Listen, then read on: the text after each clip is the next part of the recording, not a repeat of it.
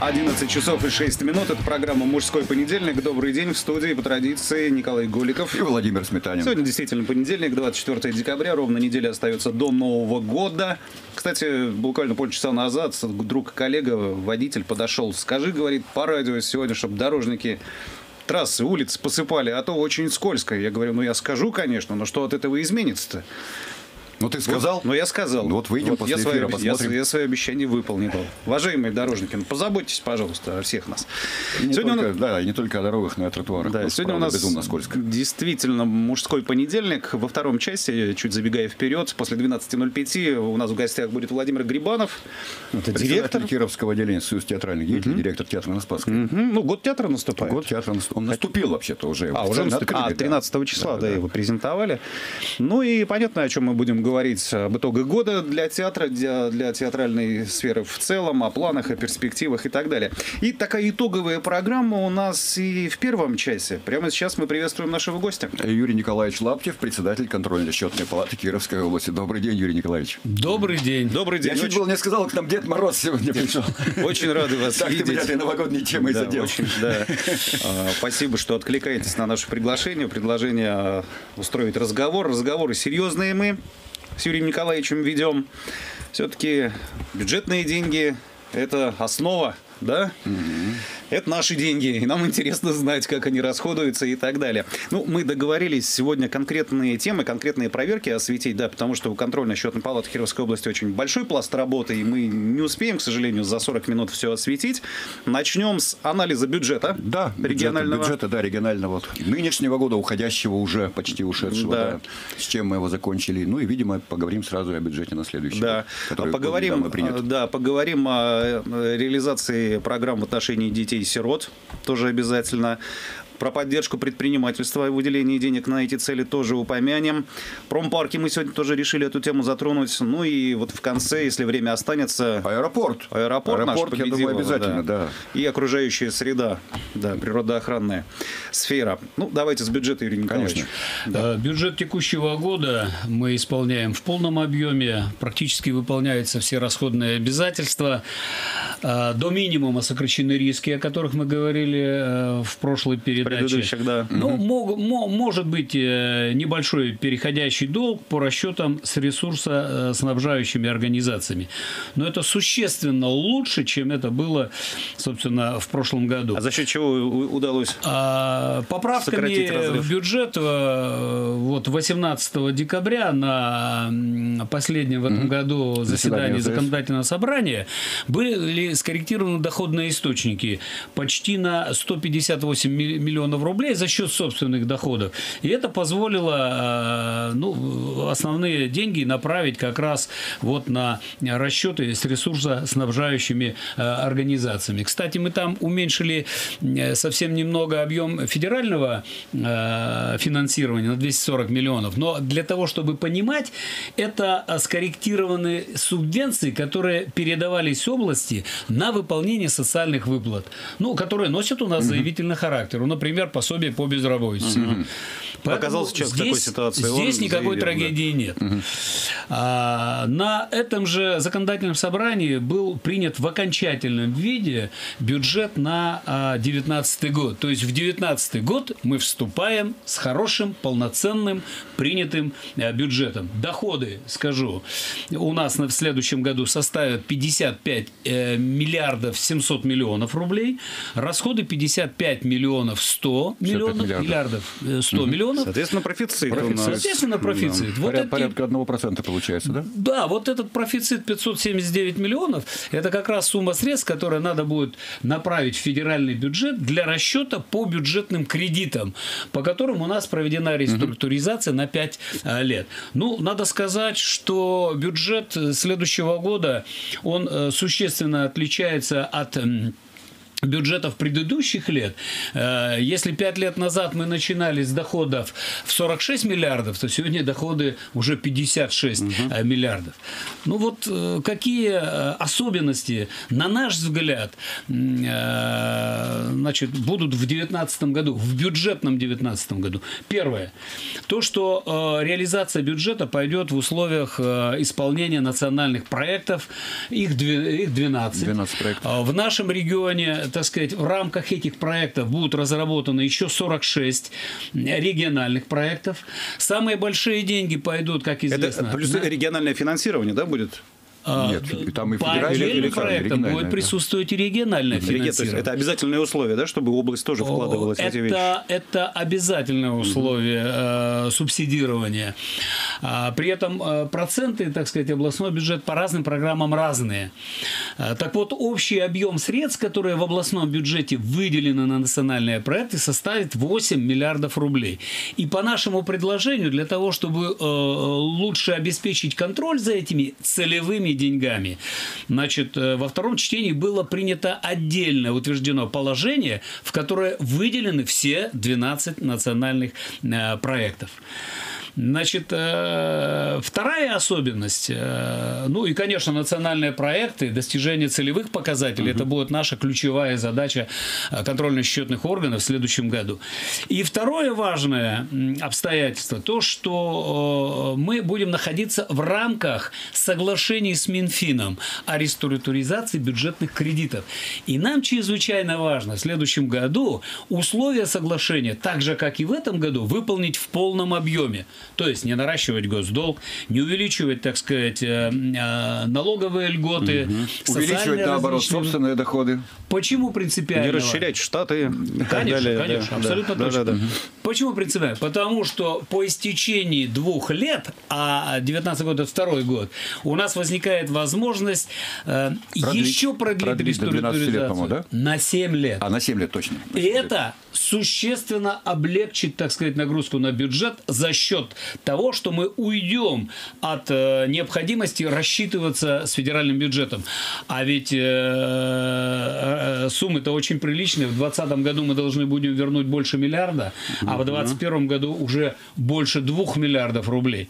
Поэтому, вот, э, на мой взгляд, это тоже принципиально важно, и это тоже будет одной из наших задач в обеспечении контроля за бюджетом. Угу.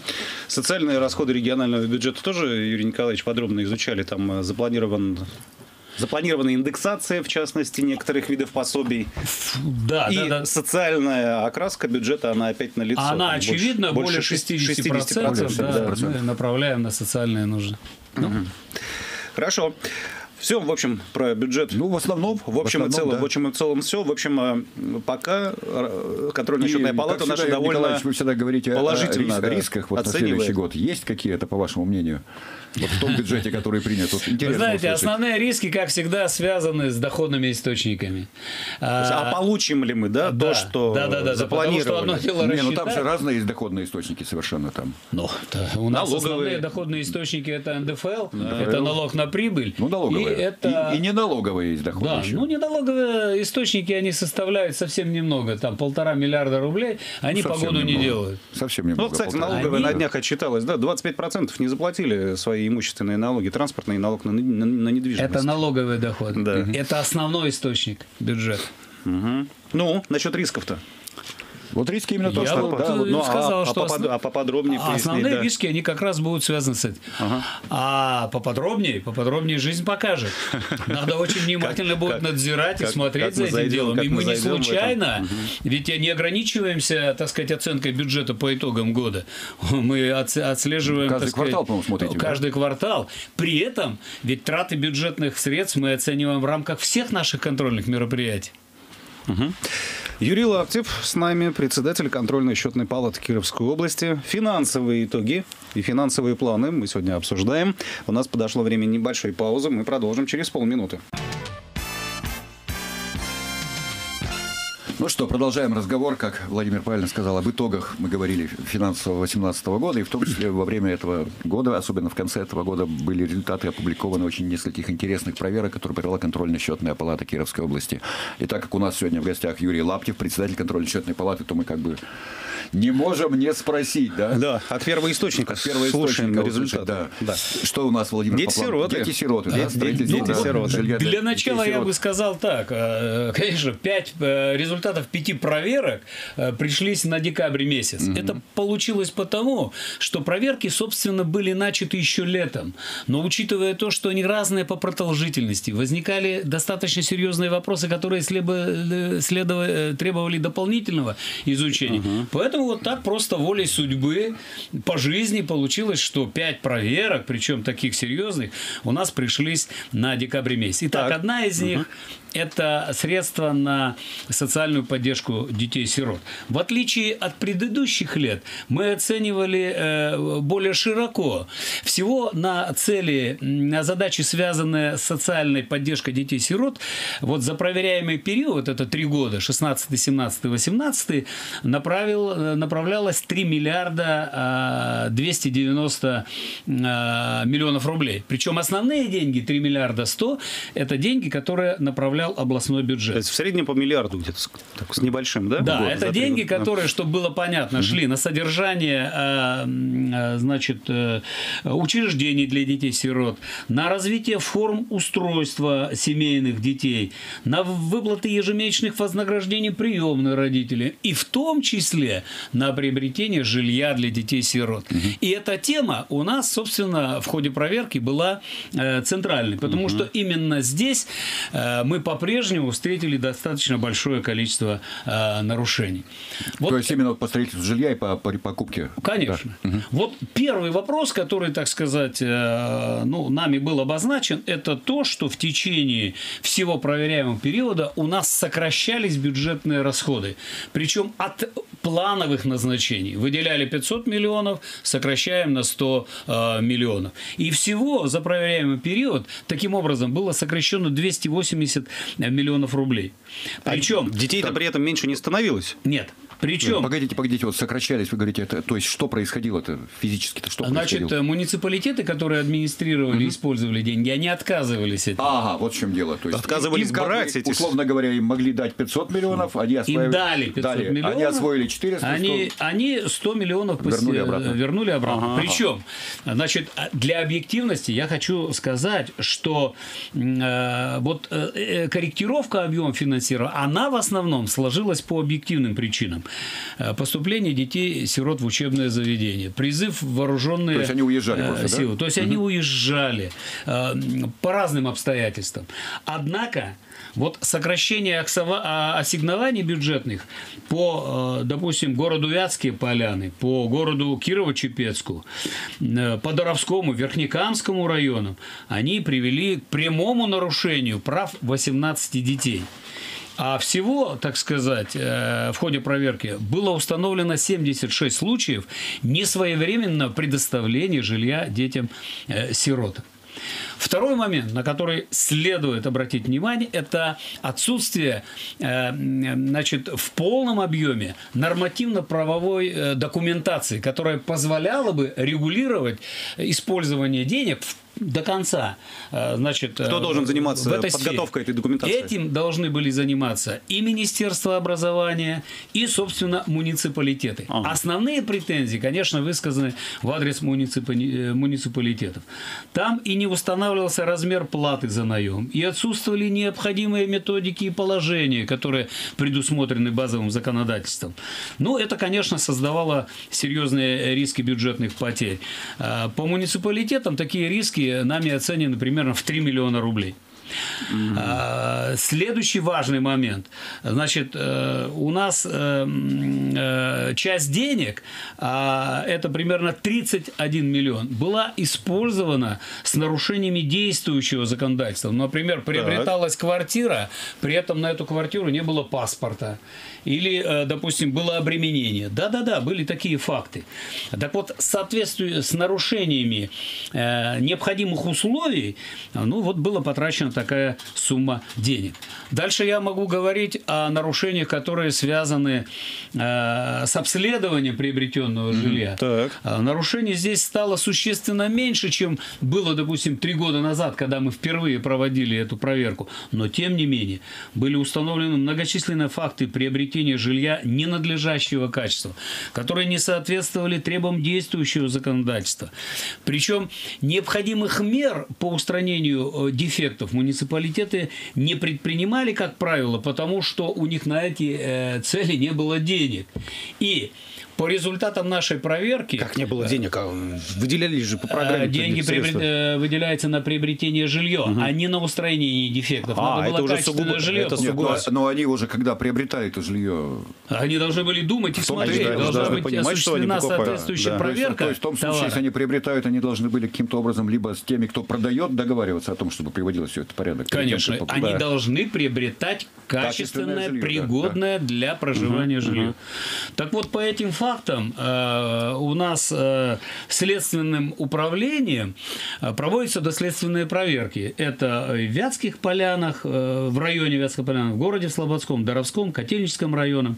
Ну и тут еще попал у нас центр опеки и попечительства значит, в городе Кирове. Mm-hmm. Есть еще одна проблема, которая не устранена с, с, со, вре, со времени первой проверки. 60% детей-сирот не оплачивают коммунальные платежи. Причем э, и 30% детей Это не такая проживают. хроническая проблема, да? Это да. не только проблема этого года выходящего да. вообще, да? И не проживают, вот 30% не проживают в, в тех домах, которые им предоставлены. Ну, здесь причины То тоже разные. Неэффективно и... используются неэффективно работает Здесь проблема, вот программа понимаю, дела предположений. Как, как, скажем, муниципалитет может контролировать, чтобы там ребенок оплачивал вот эти коммунальные, ну уж не ребенок. Но он же человек. платит, э, он же, это же э, квартира является собственностью муниципалитета. А, это муниципа, она же муниципальная. Она муниципальная. Понятно, он на 5 лет ее сдает понятно. подростку, через 5 лет у подростка в соответствии с законом возникает право приобрести эту квартиру. То есть по достижении 23 лет, когда Она вот 23 года исполняется ему, да. Угу. Угу. Это некий гарантийный период угу. для того, чтобы квартира сразу не ушла. Ну, ясно, Жела... ясно. Желающих погреть руки на этой О, теме. Огромное число да, да, таких конечно. примеров. Да, да, так да. вот у нас вот такие... Такая перестраховка такая государства. Так вот у нас эти долги по сравнению, так сказать, с э, тем проверяемым периодом увеличились в 6 раз.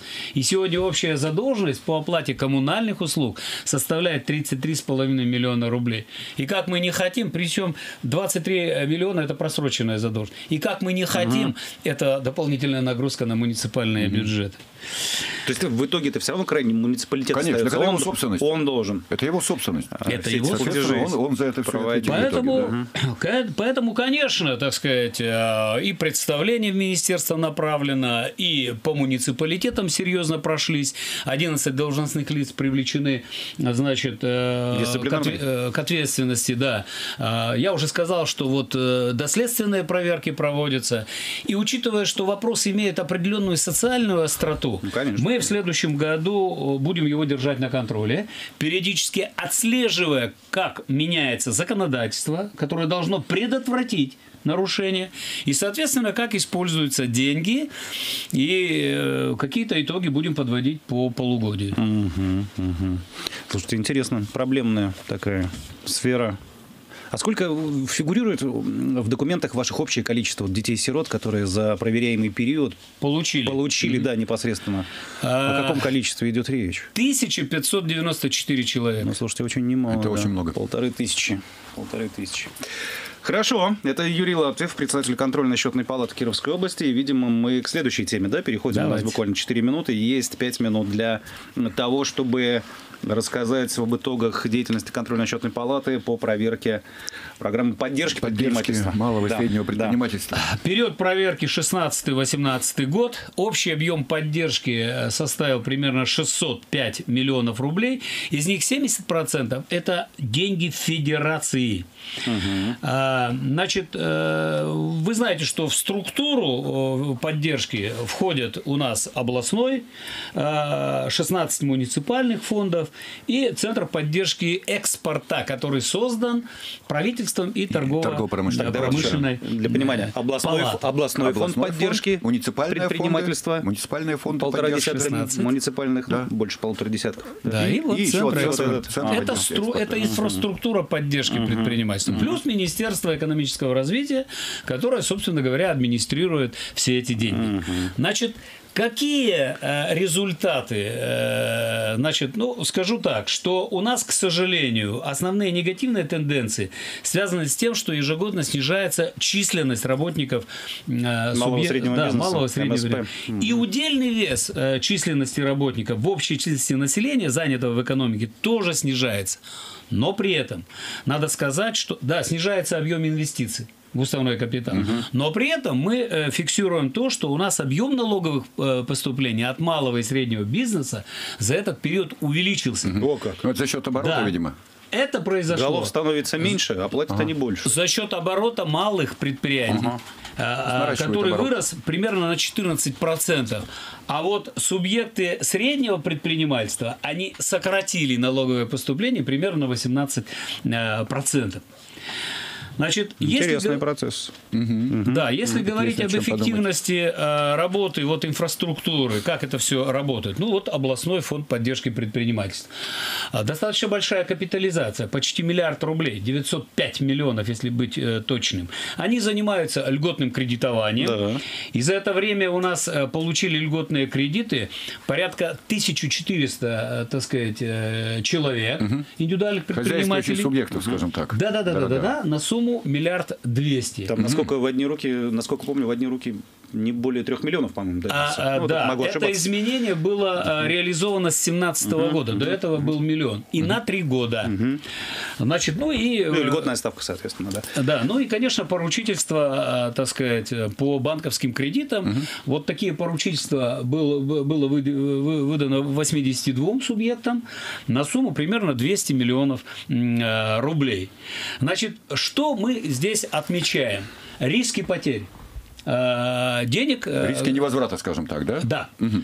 Значит, причем это 27 э, миллионов, это сумма, которая была, находилась в банках в виде залогового фонда. То а, есть, а, а вот этот вот наш фонд, он разместил деньги в банках он обязан создавать залоговый, залоговый фонд, фонд, который да. размещается в банках. Угу. Банки определяются по конкурсу. Угу. Так вот, три банка, в которых было размещено 27 миллионов рублей, они, к сожалению, признаны несостоятельными. Ой-ой. Это, то, то есть, есть Центробанк не... лишил их, собственно, да, да, да, лицензии. Да. Да, лицензии. То есть ага. эти деньги стали очень проблемными к возврату. Они, они уже невозвратны. Ну, я так Это мягко говоря, это очень мягко говоря. Никого не обидеть. При этом, значит, мы по-прежнему сталкиваемся с этой историей потребительских кооперативов, которую мы критиковали в ходе, так сказать, предыдущих проверок. Да, мы помним, да. 13,7 миллионов было списано как э, задолженность потребительская, которая уже не, ну, нереально к возврату. Нереально к возврату. да. Плюс 12 миллионов – это, так сказать, э, деньги, которые могут быть не возвращены, потому что они находятся в составе э, дебиторской э, задолженности. Угу.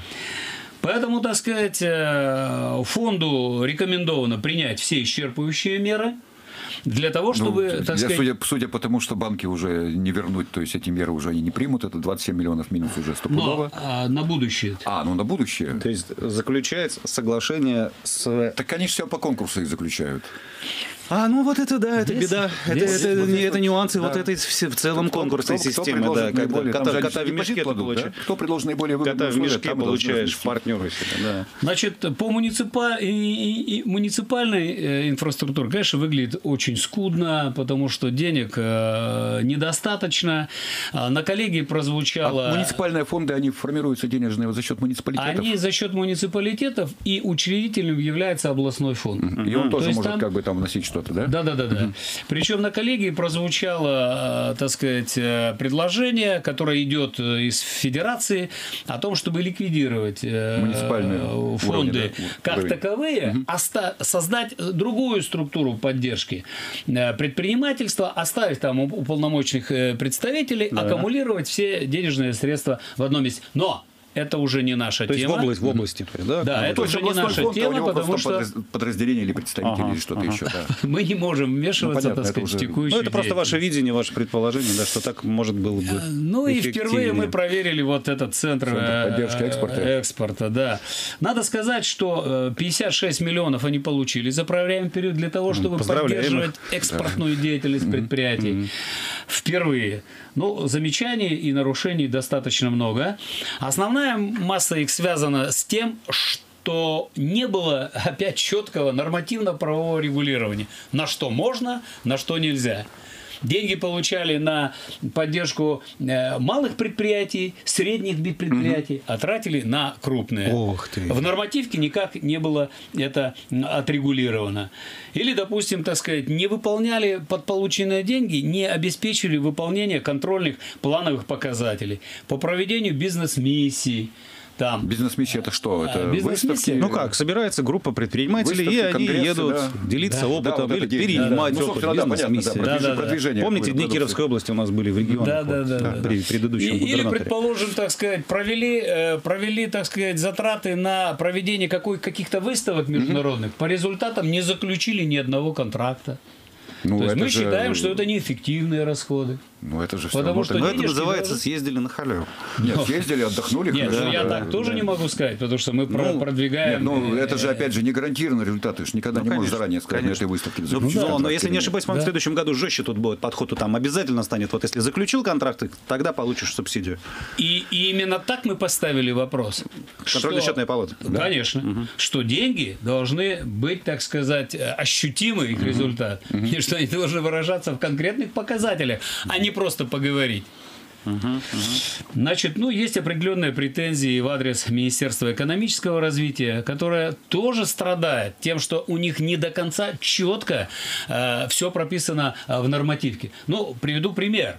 Выделяем, э, выдаем субсидии на поддержку предпринимателей. Причем сумма поддержки там 97 миллионов вот всего угу. выделено. Угу. Значит, часть предпринимателей не выполняет обусловленные, э, так сказать, договорами э, с, э, условия. Угу.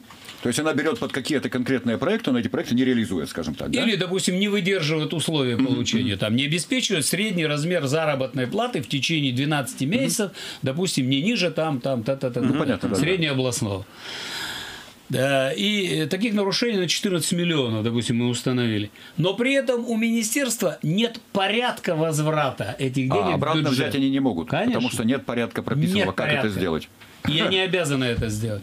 Поэтому здесь тоже совершенно четко и конкретно поставлена задача. Я прошу прощения, Юрий Николаевич, у нас просто время рекламы. Мы должны уйти буквально полторы Пожалуйста. минуты и да, вернемся. Как говорил Карлсон, продолжаем разговор. Напоминаю, мне, что, мне да. другие фразы нравятся. Какие? Малыш, а есть у тебя варенье? Мы сегодня варенье не спрашиваем, хотя я чуть было не назвал нашего гостя Дедом Морозом. Да, напомню, что у нас в гостях сегодня Юрий Лаптев, председатель контрольно-счетной палаты Кировской области. Мы говорим о результатах проверок, вот, которые так получилось, что в концу года появились все эти результаты, очень интересные. И я так понимаю, что на очереди у нас промышленные парки. Да. Тема последних лет очень всегда горячая, очень интересная. Вот э, промышленные парки по отдельности мы проверяли, так сказать, периодически. То Вятские поляны, то Слободино, так сказать. А вот так, чтобы в комплексе оценить, ну, это сделано впервые. Угу. Вообще вот на поддержку промышленных парков э, областным бюджетом было выделено 765 миллионов рублей. Из них 690 э, миллионов – это средства федерального За какой, бюджета. еще раз напомним, период это? Это период э, три года, 16, 17, 17, 17. Угу, да. угу, угу. Значит, э, что показали результаты проверки? Э, что, к сожалению, значит, э, в результате использования этих денег, функционирования промпарков у нас не были достигнуты вот те показатели, которые определены ну, ради, ради для которых, собственно, создавались, эффективности. Да, да, ради которого создавалось денег. Это, да. Ну, вот количество рабочих мест реализовано только на 20%. Значит, годовой объем промышленной продукции только на 17%. Вот, поэтому, так сказать, э, в целом работа промпарков э, нами признана неэффективной. Но правительство, собственно, так сказать, как бы предваряя, опережая эту ситуацию, оно из пяти промпарков ликвидировало три к моменту завершения в ходе проверки. И это совершенно обоснованно. Это два частных промышленных парка в Лузе и в Белой Холунице. Да. Ну и Игроград, Игроград, ага, Игроград. Который, собственно, не угу. отрабатывал вот э, той сути, которая была заложена. Заложенные, да, цели и задачи. Да, да, да, да, да, да. Поэтому, значит... Остались Слободино и Вятско-Полянск. А, остались два. Слободино и Вятско-Полянск. Ну вот Слободино мы, к сожалению, никак не можем запустить в полном объеме с 2015 года. И до сих пор там э, как бы э, функционирование его э, затрудняется в связи с тем, что нужно 16 миллионов еще на строительство инженерных сооружений по сливу очищенных вод. А изначально в проекте это... Его как? не было. Мы на это указывали. как так-то? Ну, как так? Строить Причем объекты, не предусмотреть парк, удобство ну, без, эти все. Вот, без вот, системы... Ну, понимаете, вот так, к сожалению. Причем по этому Слободину ведь история давняя. У нас и уголовные дела были, да, и ПСД да. было, так сказать, без, неправильно составлено. Мы дополнительные деньги вкладывали на доработку этой проектно-сметной документации. То есть история очень давняя. И самое важное, сегодня бюджет тратит по 3 миллиона в год на то, чтобы эту площадку содержать. содержать да. А, вот э, список резидентов, он постоянно меняется, и нет никакой уверенности, что он окончательный, и на 2019 год, значит, он, так сказать, устоится. Угу. Поэтому здесь есть проблема.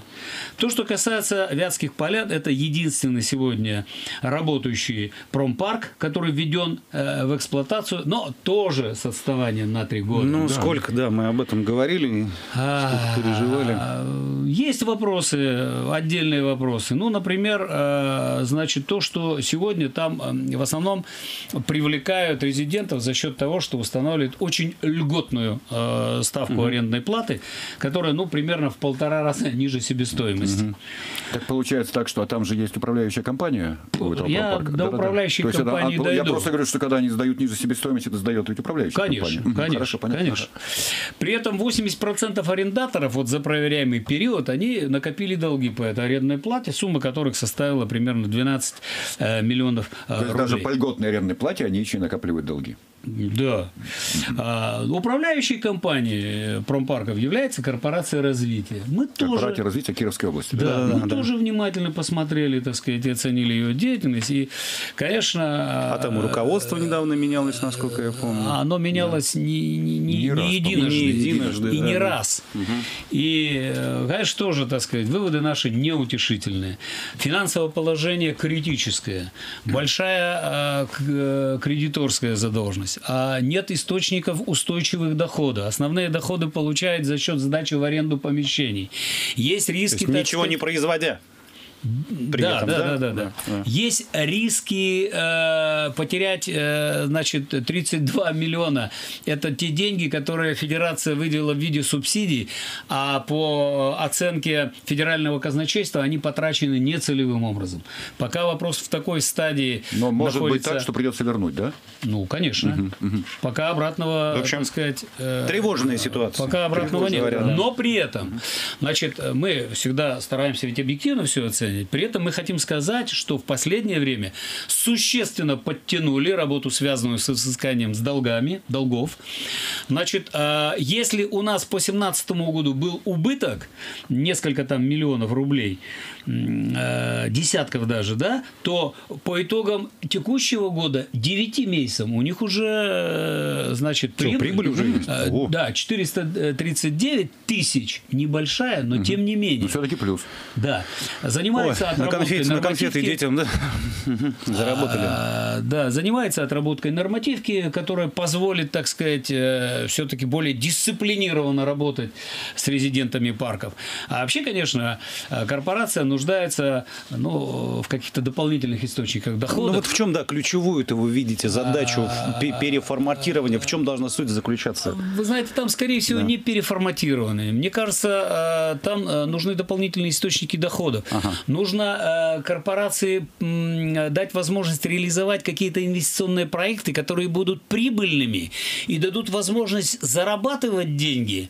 Э, при этом, э, значит, у них появится возможность, э, соответственно, их тратить на укрепление... В том числе на развитие тех же промышленных. А что да, для этого да, нужно? Да, что-то, документы какие-то принять, что-то изменить это, нужно? Это решение правительства. Правительство. Угу. Исполнительные власти сами. Да, собственно, да. да. Потому что там учредитель этой корпорации Кировской области. Да. 100%. Угу. Ну и в первую очередь Министерство экономического развития, да, раз уж?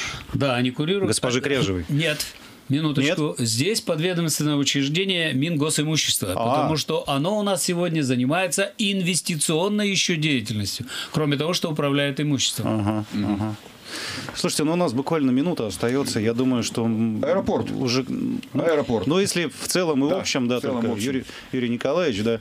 Кстати, буквально сегодня на сайте ksp43.ru появилась информация да, по проверке по Победилову. Ну, давайте вот минутка, да. какие-то основные моменты. Но ну, я уже тут, знаете, я тут уже вижу, что капитализация достаточно серьезная. Да. Значит, проблемы э, с, аэроп- с аэропортом возникли, так сказать, не сегодня, не вчера. А он у нас убыточный несколько лет подряд. Сегодня убытки, конечно, очень большие.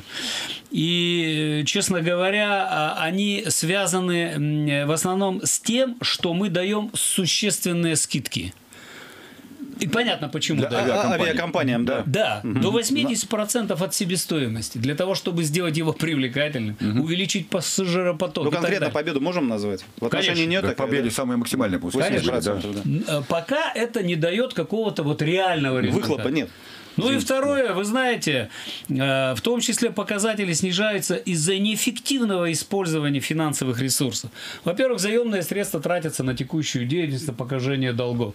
Ну, ну, ну куда деваться? То есть не в развитие вкладываются, а просто в текущую деятельность. Ну, на латание да, дыр, на латание да, штрафы, да, да, пений да, да. и так далее. Имущественный комплекс не весь загружен. На 15 миллионов имущества, которое не используется. А затраты на его, так сказать, обслуживание э, предприятие несет, причем причем платит налоги Понятно. и так далее. Значит, самое важное, самое важное, на мой взгляд, и существенно, нет стратегического документа. То есть нет бизнес-плана на 2019 год. Что дальше? Угу. За счет чего, так сказать, мы будем держать аэропорт? Поэтому наше мнение, нужно принять комплекс мер по оптимизации расходов и дополнительному привлечению доходных источников, повысить эффективность использования имущественного комплекса, который там на миллиард рублей угу. сформирован. Ну и кроме того, вот та государственная поддержка, а ее не избежать, и цифра называлась 135 миллионов, угу. она может быть и больше, Э, значит, она должна более э, более эффективно расходоваться. То есть не на латание дыр, скажем Конечно. так, а все-таки на И какая-то часть тратится на инвестиции. Угу.